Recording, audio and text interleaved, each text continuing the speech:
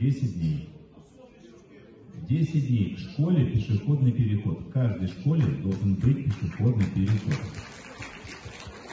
Делаю замечание Минтрансу и городу. Мне докладывают, что все везде, по всем краю все оборудовано. Поэтому, поэтому вместе снимайте эту проблему. Не жду пешеходный переход. И мне докладывали, что это решено. Везде, где заявки были, финансирование были, Я не, я ведь не про заявки. Я ведь про пешеходные переходы к школам. Даже если кто заявку не подал, это означает, что пешеходный переход не должен там появиться. Согласен, поработаем, посмотрим. Да, спасибо. Был вопрос по поводу